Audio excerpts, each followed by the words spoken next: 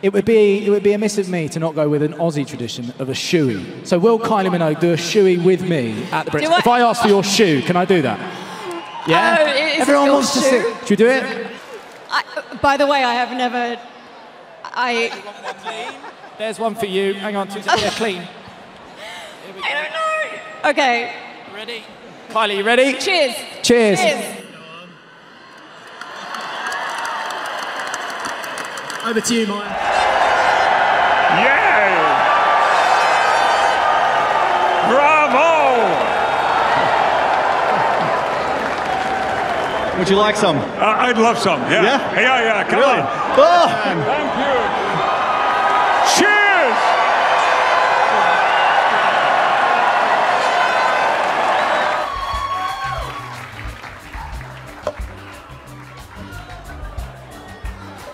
Right, one, one, two, three.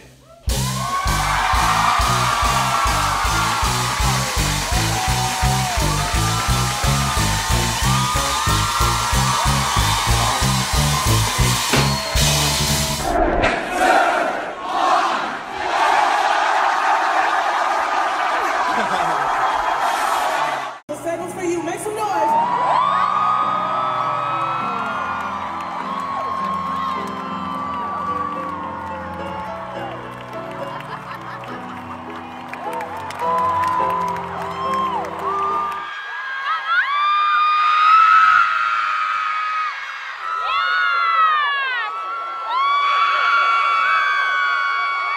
This is one of the most disgusting traditions I've ever witnessed.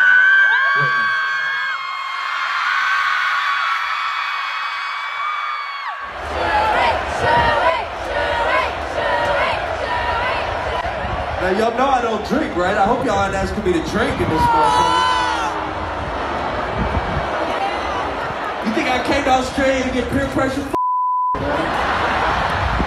Sometimes you show up to festivals and, you don't know because there's so many acts, you don't know how the fans are split up. But do I have any real Jack Harlow fans in the building right now?